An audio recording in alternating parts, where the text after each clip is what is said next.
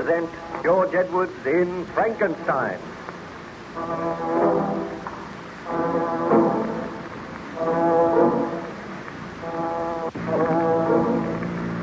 Baron Frankenstein was gradually recovering his health under the care of the captain and the surgeon of the ship Voyager, which was icebound in northern waters.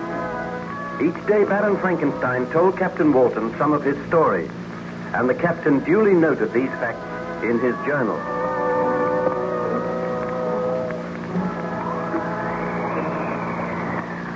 Perhaps you would care to have another look through my journal, Baron Frankenstein.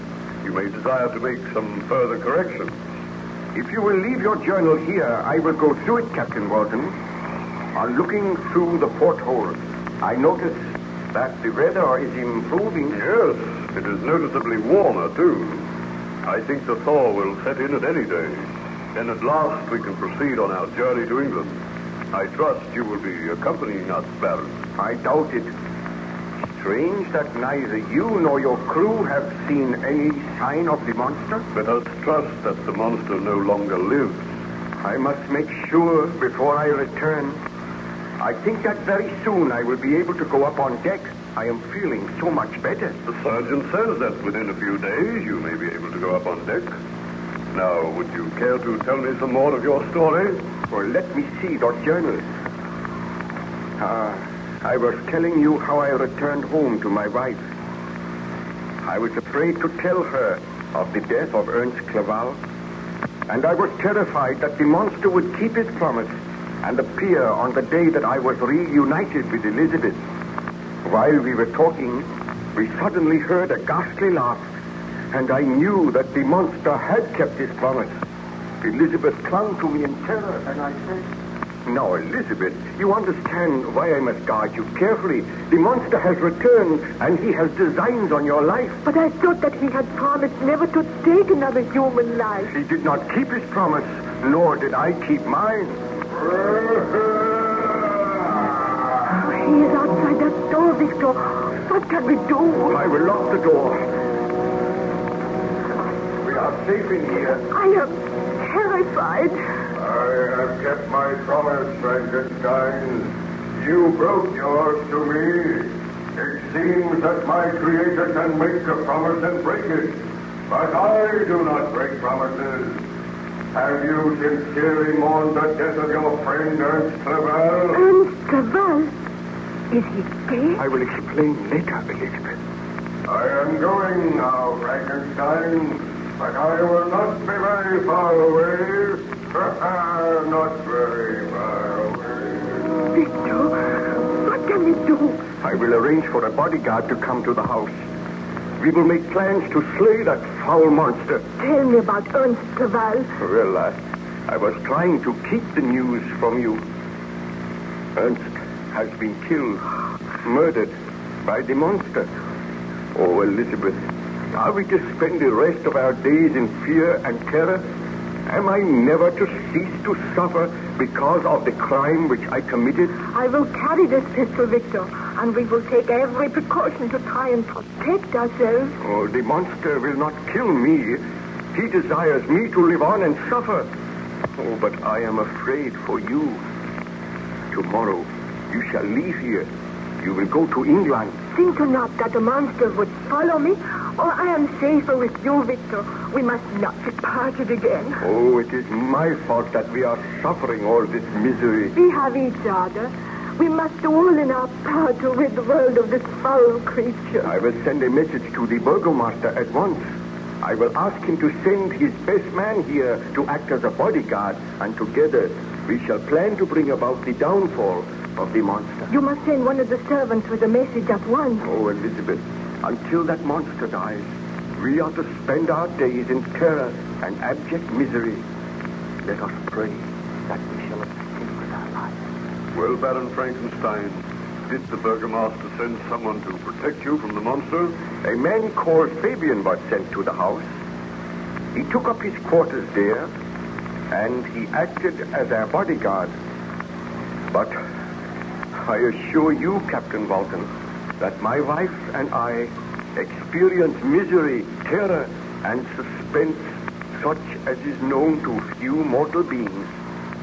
Every footstep, every sound caused us to start. We were prisoners in our own home. Still, there was no sign of the monster. There came a day when I sent for the man, Fabian. I discussed with him the best plans for finding the vile creature which was endangering our existence. When Fabian came into the room, I said, Oh, uh, be seated, Fabian. Thank you. Tell me, uh, where is the Baroness?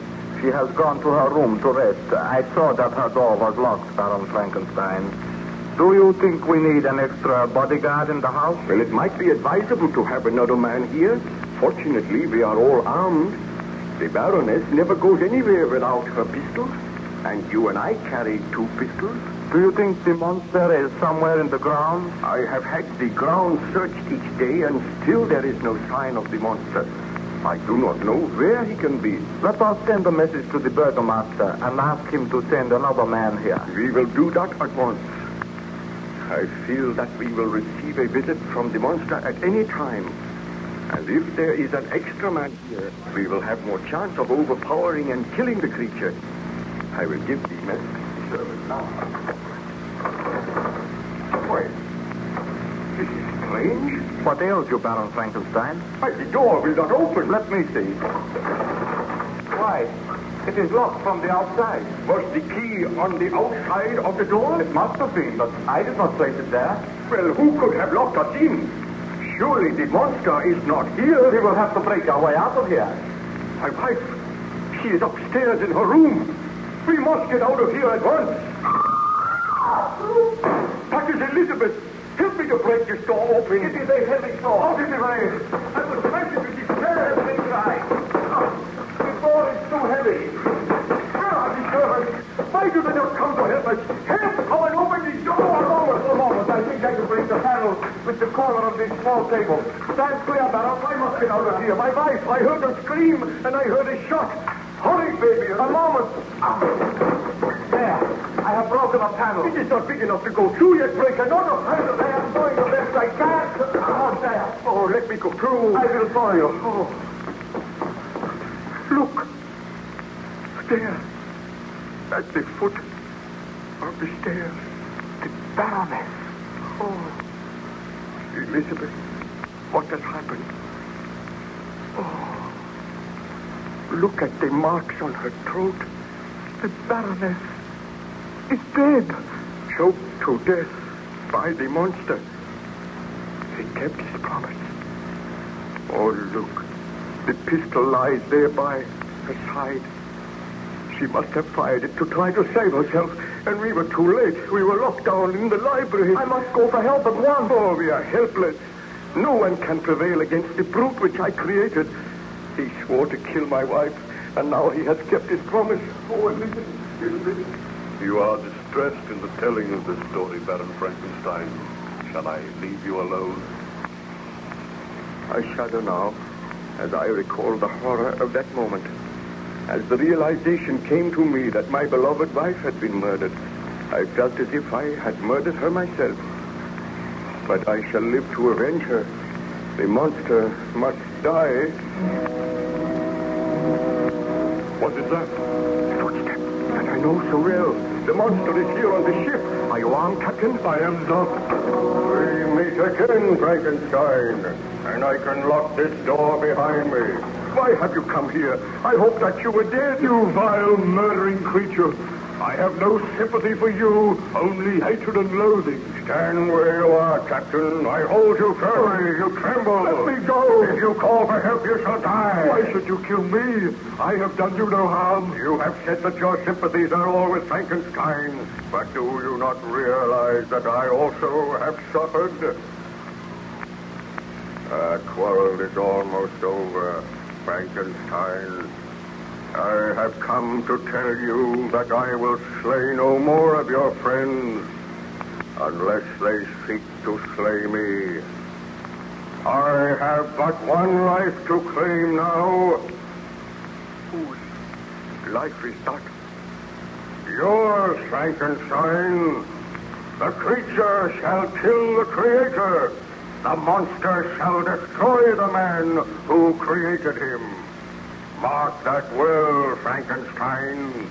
Before this ship leaves, you shall die. I only pray that before this ship leaves, I am given the strength to kill you. I will be content to die when you are dead. Think not to escape me, Frankenstein. Your life and mine are bound together. I go now, but be prepared. The end may not be far distant. Go after him, Captain. Oh, quick. Bid your men shoot him down. No. No. I cannot go after him, Baron Frankenstein. I do not think that anyone can kill that monster. And he has sworn to kill all who strive to slay him. Oh, you must despise me and think me a coward. I do not think that. I understand. But go on deck, Captain. Tell your men to keep a close guard. And whatever you do, see that the officers are armed. And carry a firearm yourself. Then return to me and I will continue my story.